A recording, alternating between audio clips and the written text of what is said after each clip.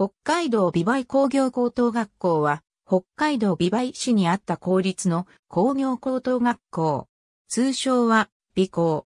所在地の周辺の空地群は、当時国内有数の鉱山地帯であることから、最高化を有する北海道町立の工業学校として発足した。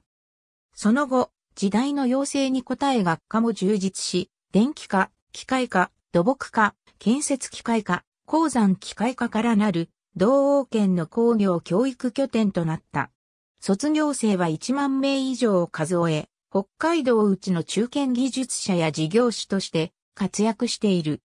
しかし、地元工業界の変遷や少子化等の影響から、徐々に閉化し、北海道内高等学校再編計画の一環で、美媒高等学校との統合により美媒なお、栄高等学校が開校することになり、2013年3月をもって閉校した。